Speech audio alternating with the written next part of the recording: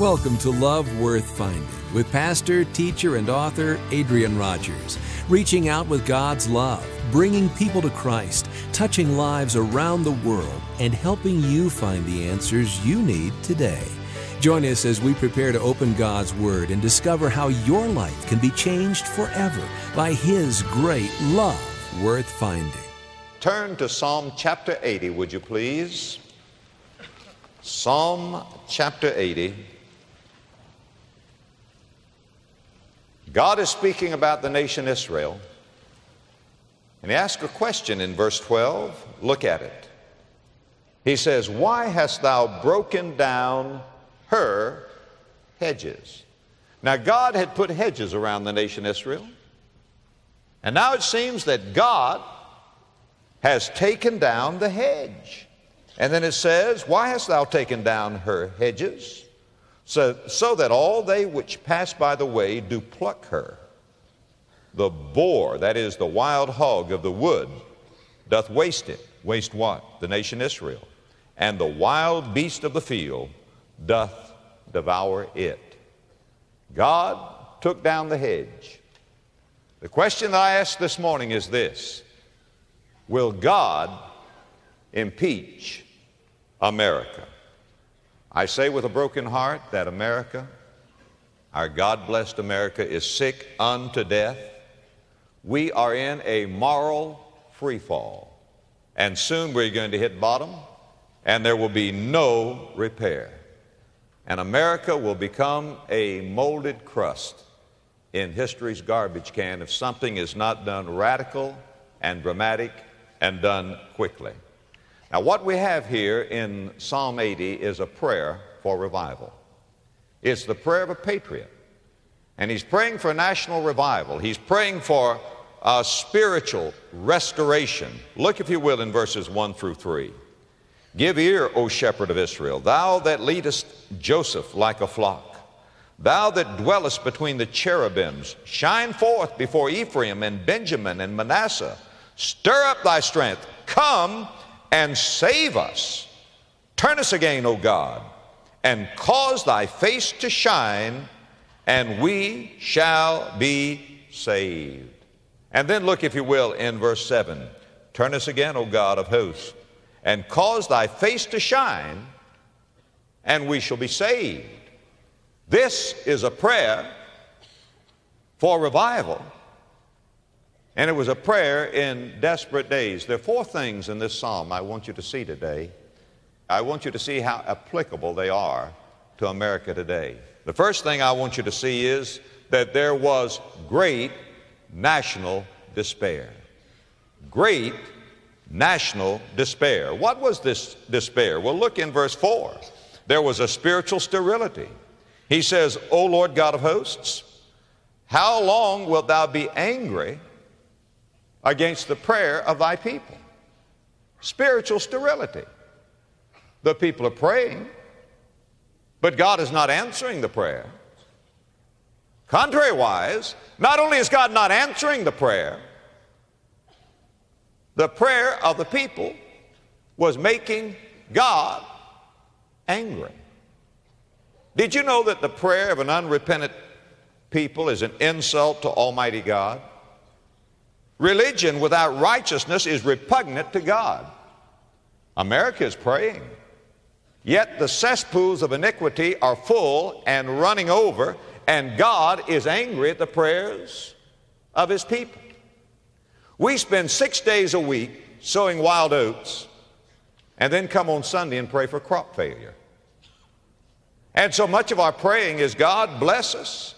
Just bless us anyhow, but God is not going to do that.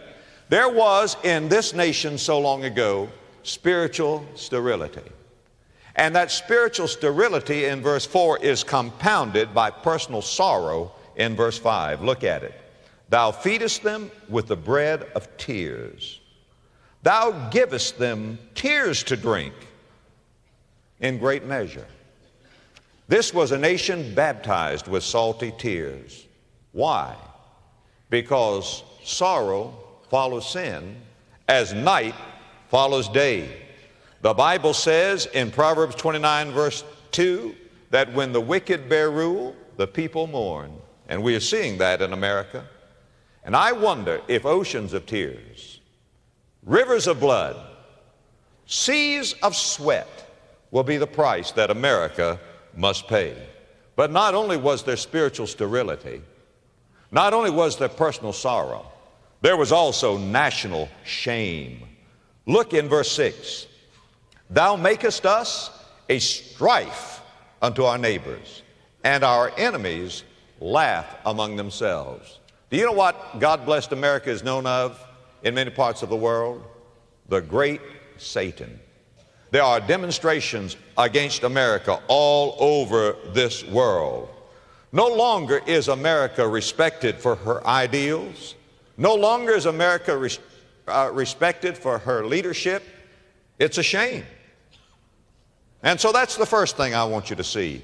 There, there was, dear friend, uh, in this passage, a great national despair.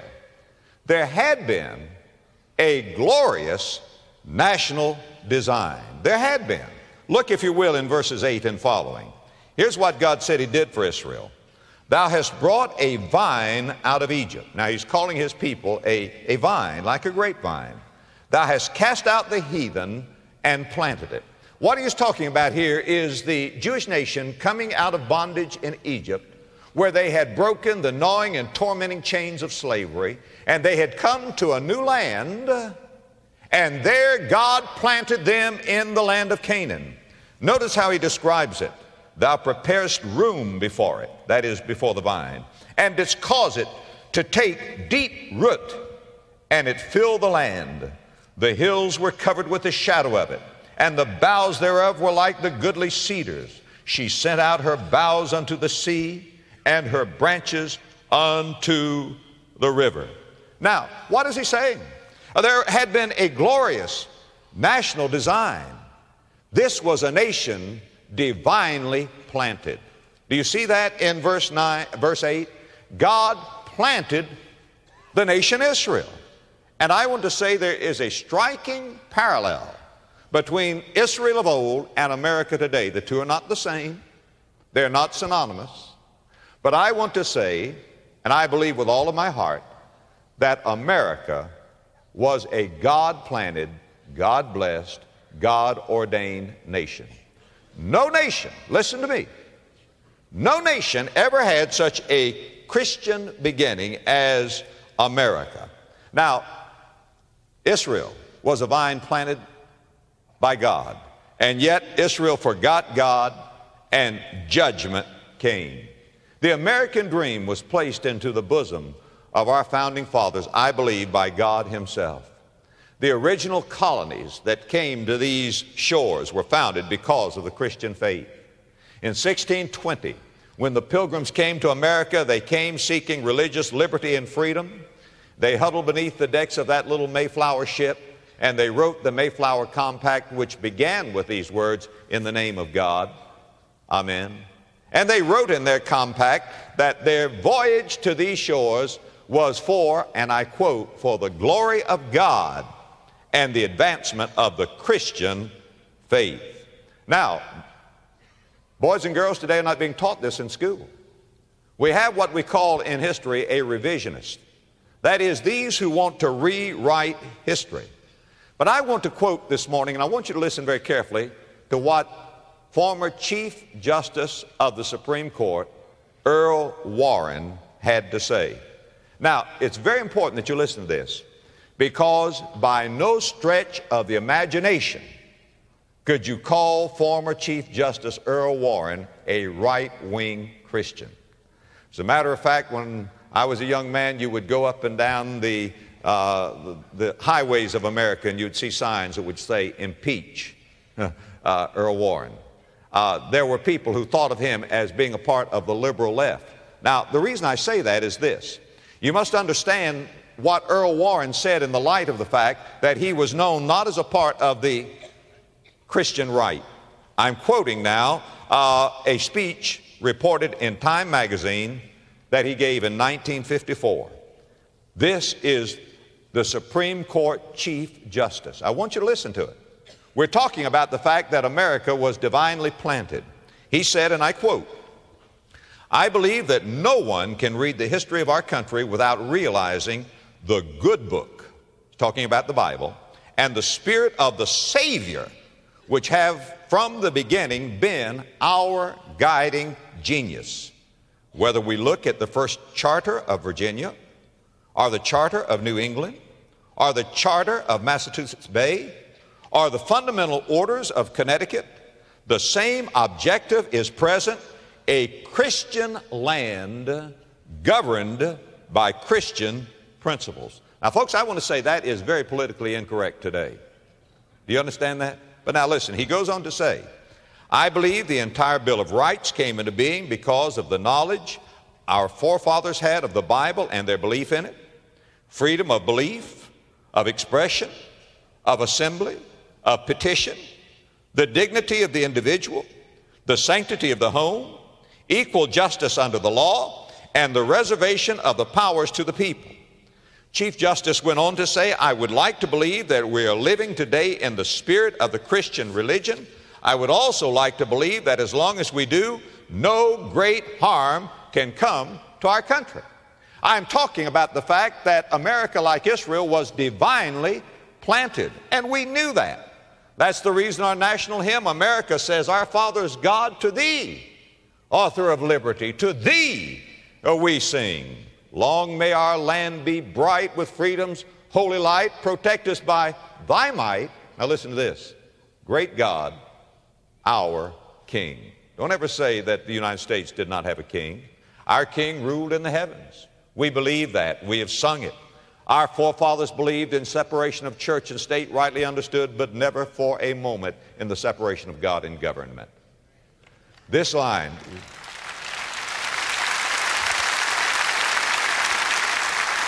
Israel was divinely planted in verse 8 and divinely prospered. Look, if you will, in verses 10 and 11 in this same psalm. He says, The hills were covered with the shadow of it. What? The vine that God planted.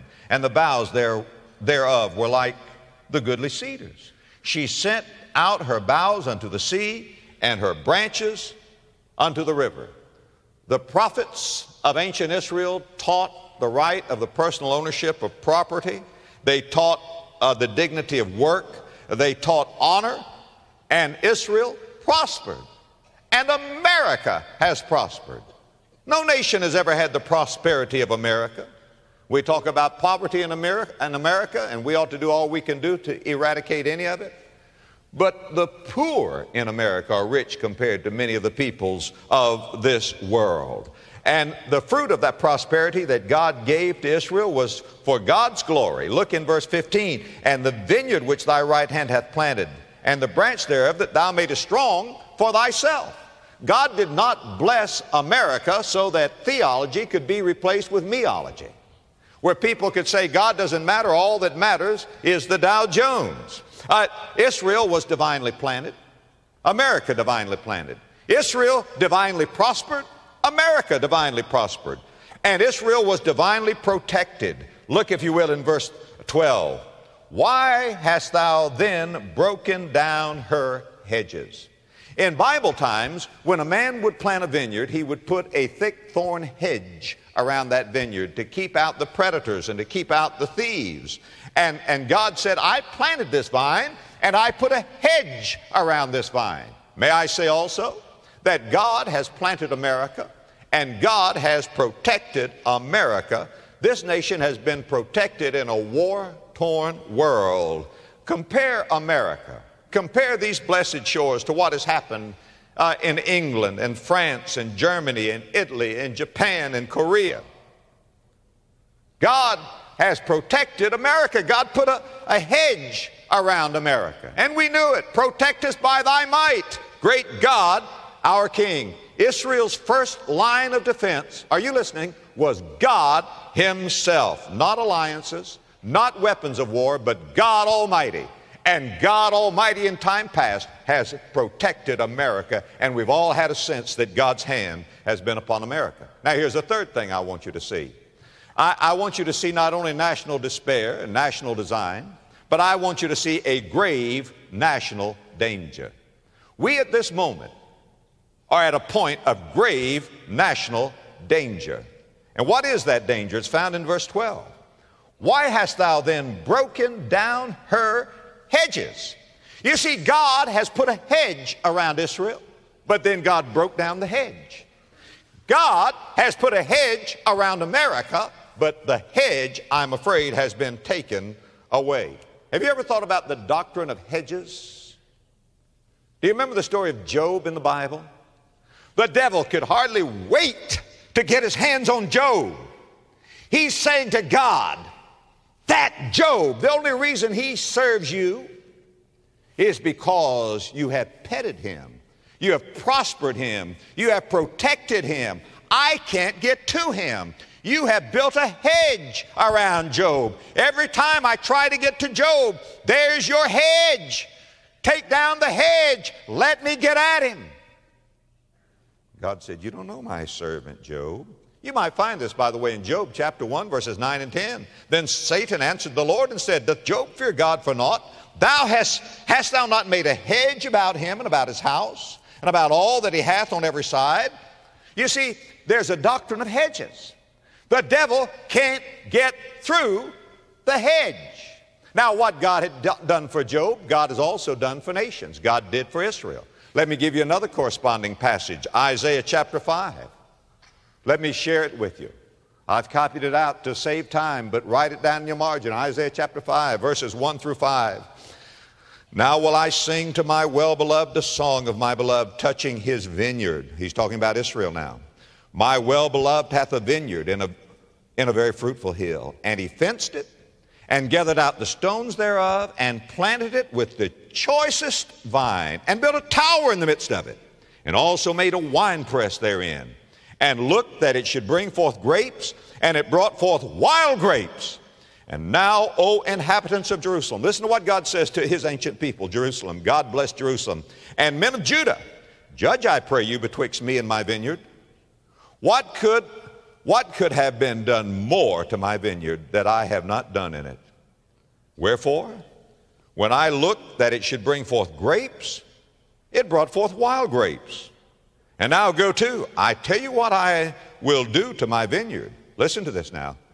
I will take away the hedge thereof, and it shall be eaten up, and break down the wall thereof, and it shall be trodden down. Now, God said, Look, I founded this nation. I protected this nation.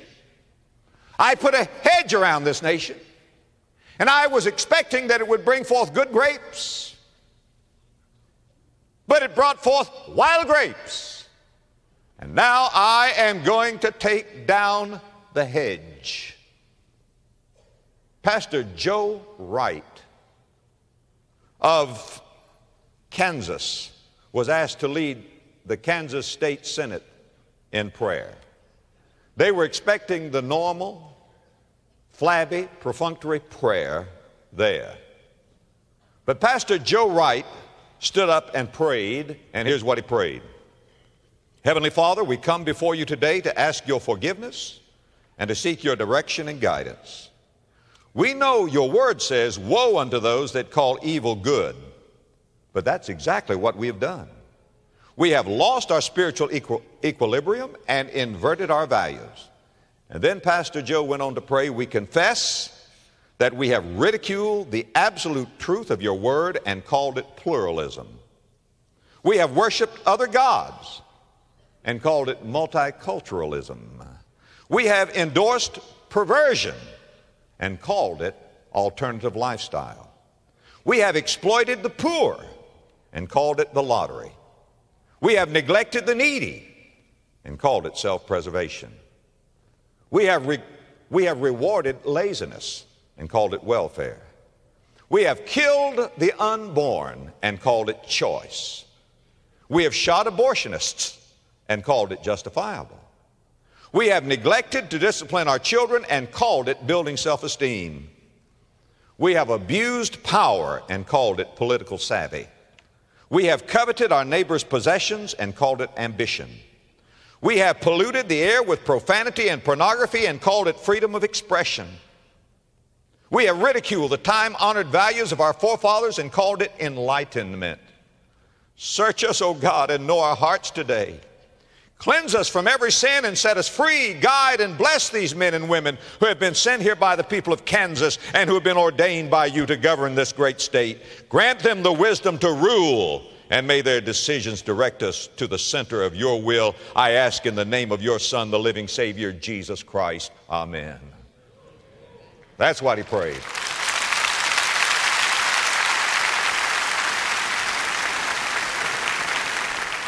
I say, God, give us some more pastors like Joe Wright who understands that God, who put this vineyard here, has a right not to ask for wild grapes. Now, what has been the result? What is this grave national danger? Well, there was external danger from her enemies. Look in verse 12. Why hast thou then broken down her hedges, so that all that they which pass by the way do pluck her? America's nat- uh, nat- natural resources are being stripped away we are at the same time losing our resources and losing our friends. I say we're known as the great Satan. People are plucking this vineyard.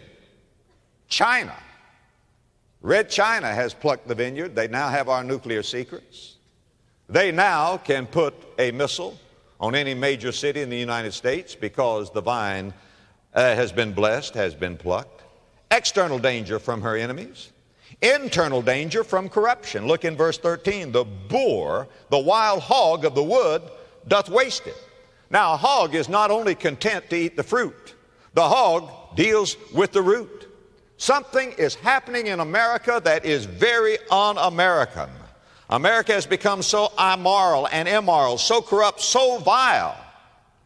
For further information, consult the front page of any newspaper. Friend, a tidal wave, a tidal wave of filth is sweeping across America. Crookedness, lying, cheating, stealing, adultery, divorce, murder, lust, dope, vice. We say America is number one. She is. She's number one in homosexuality, number one in radical feminism, number one in divorce, number one in the destruction of family values, number one in abortion, number one in political correctness, number one in occult, humanistic, New Age religion. That's America. I'm telling you, we're in a moral free fall. Think of what is happening in the schools of America. We're shocked by what happened in Littleton. But why? Prayer is out, policemen are in, Bibles are out, values clarification is in, the Ten Commandments are out, rape and armed robbery and murder and bombs are in, creation is out, evolution is in, corporal punishment is out, disrespect and rebellion is in. Traditional values are out, unwed motherhood is in, abstinence is out, condoms and abortion are in, learning is out, social engineering is in, happy days are out, goth fashion, Marilyn Manson, gangster rap, heavy rock, heavy metal is in, blasphemy is in, praise is out.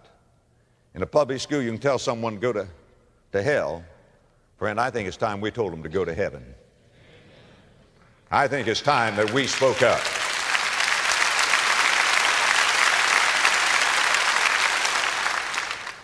There is external danger, verse 12.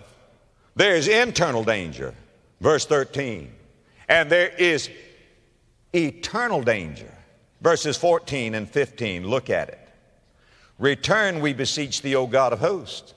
Look down from heaven and behold, and visit this vine, and the vineyard which thy right hand hath planted, and the branch which thou madest strong for thyself. Now, watch this in verse 16. It, the vine, is burned with fire, and it is cut down. They perish at the rebuke of thy countenance. Now it is God Himself who is bringing judgment. God's judgment is like an axe, according to this verse, laid to the root of the tree. God's judgment is like a consuming fire. And that's what's happening in America. Come up close and I want to tell you something, friend. Not only is God America's only hope, God is America's biggest threat. God is America's biggest threat. Look at it again. Verse 16 It is burned with fire, it is cut down, they perish at the rebuke of thy countenance.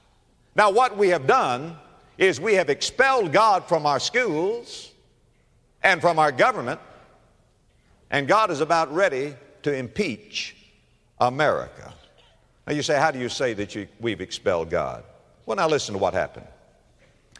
The United States Supreme Court banned prayer in public schools in 1962. Then in 1963, they banned the Bible. Now, evidently, we've been doing something wrong for a long time.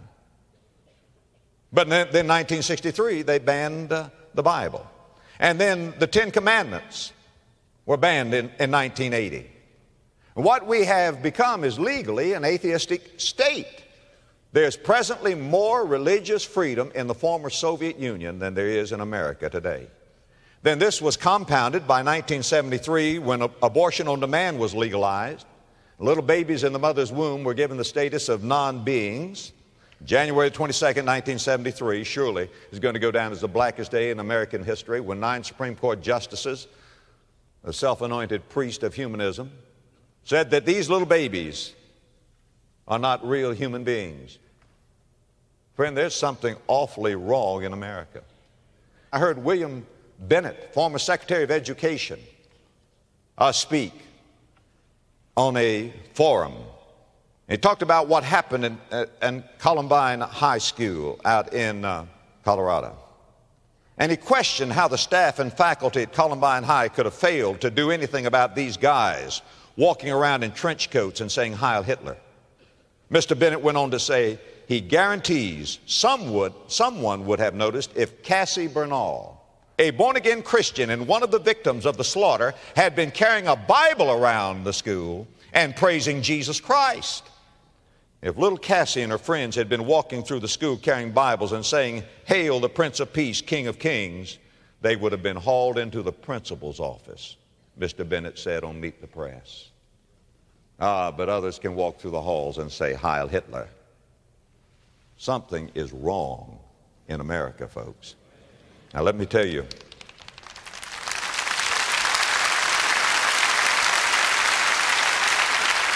You want me to put it in a sentence? What is wrong in America? The hedge is down. How, do you, how else do you explain what is happening in God blessed America? You see, why are we suffering all of these problems? We are so jaded, it's almost like we have the tragedy de jour, the tragedy of the day. I, I listen to the radio. Now what has happened? We've had a tornado that comes ripping through the heartland. Now what has happened? We've had a student shoot shot here. Now what has happened? We've had this thing over here. After one thing after another. Why is this? Because, friend, the hedge is down. It began in 1962 when we kicked God out, and the judgment is ripening. Listen to this. In the mid 1980s, the Midwest and California suffered the worst drought in history. Then that drought was followed by record rains in both of these sections. And the drought was followed by severe flooding. In 1989, Hurricane Hugo struck Charleston, South Carolina, doing immense damage. Soon after Hugo, Hugo a powerful earthquake rocked San Francisco. In 1992, 10 of the most powerful quakes in the world in 1992 were centered in California, including the most powerful earthquake in the world that year, 7.6 magnitude in California. On the heels of that, in 1992, Hurricane Andrew, one of the most powerful and destructive ever, hit southern Florida. And then in that same year, the worst rioting since the Civil War took place in Los Angeles. And then a number of tornadoes swept across America. And then a record forest fire swept through the West, especially in California. In 1993, record storms slammed the east coast of this nation. And then California was again hit with record wildfires. And then we began mass killings and serial killings in America. They have become a regular occurrence since in the 1990s. You say, well, Pastor, has, is God doing all of that? No. The hedge is down. This is what the enemy's been wanting to do for a long time. I mean, he's just been walking around saying, How can I get in? How can I get in? How can I get in? I can't get in. I can't get in. Oh, this is a God blessed America. But America says, God, we don't want you out. Out. Out of our schools. Out of our government. We don't want you, God. Do you know what the prayer was when the Supreme Court ruled? that our children could not pray in school? Was it, was it a great, terrible prayer they prayed? No, here's what they prayed Almighty God, we acknowledge our dependence upon Thee. We beg Thy blessings upon us, our parents, our teachers, our country. Amen. Oh, they said, you can't do that in America. We don't want the Bible. We don't want prayer. We don't want the Ten Commandments. We'll handle it ourselves. God says, I'll just take away the hedge.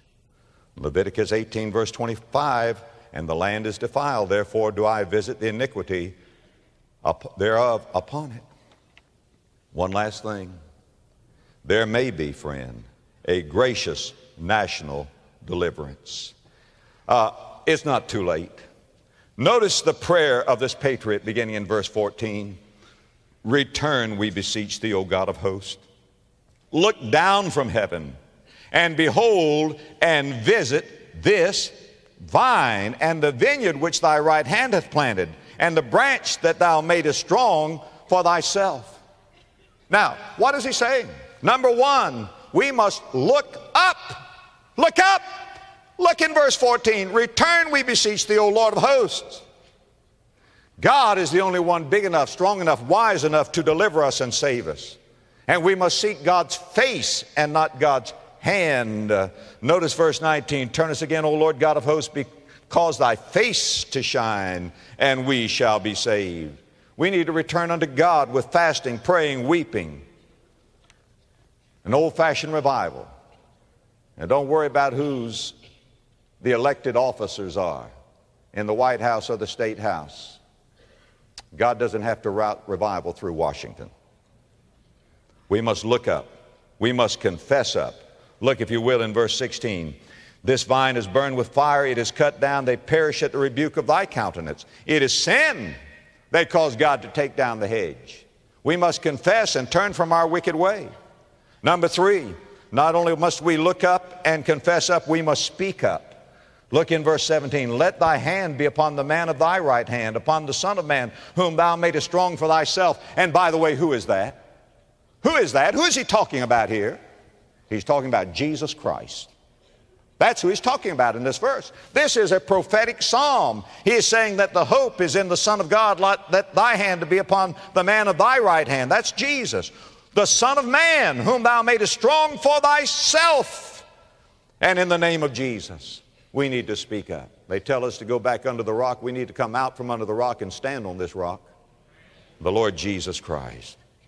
People say, oh, that's politics and religion. Let me tell you something about the church. The church is not the master of the state, nor is the church the servant of the state. The church is the conscience of the state. We need to speak up and say what God's Word says. Satan's strategy is to keep good people, good men, good women silent in evil times. And you need to tell your boys and girls when they step on school property, they have still full amendment rights and freedom of speech to pray, to carry their Bibles, and to witness for Jesus Christ.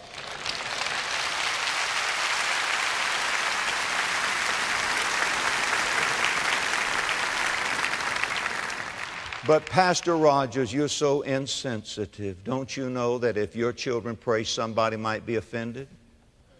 Friend, our children are offended every day at school. Offended by militant atheism, by humanism, by pornography, by heavy rock music, by profanity, by, by uh, amoral sex education. By the way, there is nothing in the First Amendment that says somebody is protected from being offended. The Bible teaches that we're to speak, and our Constitution says that nobody shall abridge our rights to speak. And so, what I'm trying to say is that, that we must look up, we must confess up, we must speak up, and we must stand up. Look again in verses 18 and 19. So will we not go back from thee. Quicken us, and we will call upon thy name. We don't have to have great numbers. Lenin began his communist revolution in 1917 uh, 19, 17, 19 with just several thousand. Castro took Cuba, I can remember, with a little band of cutthroats. On the positive side, Jesus started with 12 disciples. Joshua 22, 23, verse 10 One man of you shall chase a thousand, and the Lord, for the Lord your God, he it is that fighteth for you as he has promised. It's just time we stood up. You know what's wrong with so many of us now? We are so shell shocked. It's, it's been coming at us. It, bad news is like we're drinking from a fire hose. Friend, it's hard to build a dam when you're floating down the stream. We need to look up. We need to confess up. We need to speak up. We need to stand up. And we need for God to bless America one more time. When I was a little boy, the Japanese dropped bombs on Pearl Harbor. Afterward, the United States rallied and won the war. Admiral Yamamoto, you remember him, Yamamoto? You know what he said later on? Here's a quote. I want you to listen to it. He said, I had intended to deal a fatal blow to the American fleet by attacking Pearl Harbor. I fear that all we have done is to awaken a sleeping giant and fill him with a terrible resolve. he said, I thought, I thought, I thought this would destroy them. But said all it did was just to fill them with a terrible resolve. And they won the war. Now, what I want to say, dear friend, is this it's time that God's people were filled with a terrible resolve. It's time God said, Oh God, here is a, here's a vine. We're in great despair. But Lord, there was a glorious design. But Lord,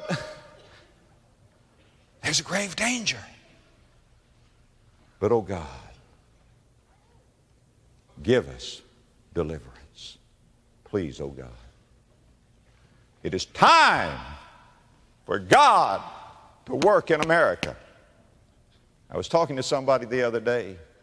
He was talking about Hollywood and everything and, uh, and the government and all of these things. And they said it's, it's not a fair fight. And I said, That's right, it's not a fair fight. For their sake, it's not a fair fight. We're the ones who have the advantage, not them. Friend, we've got the Word, the Holy Ghost. We've got God. They're the ones who ought to be afraid.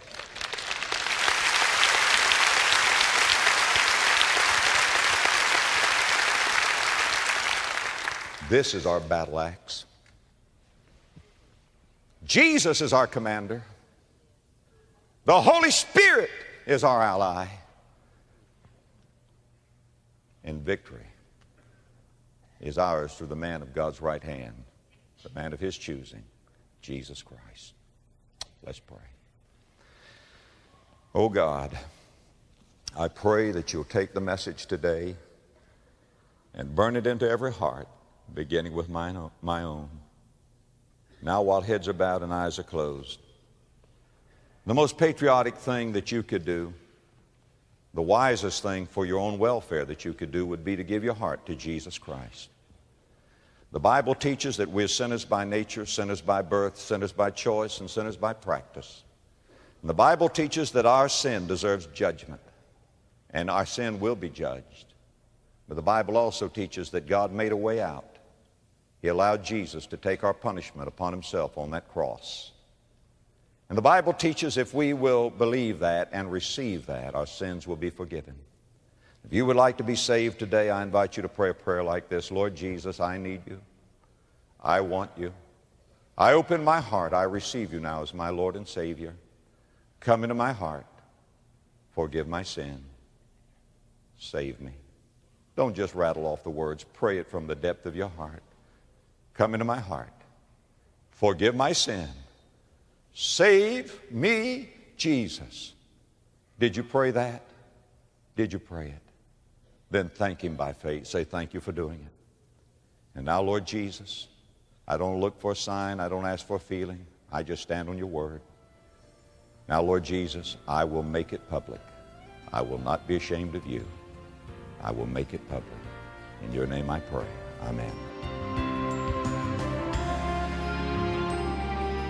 We pray God has blessed you as you've watched this message. If you'd like additional copies or information on other resources, write us at Love Worth Finding, P.O. Box 38800, Memphis, Tennessee 38183.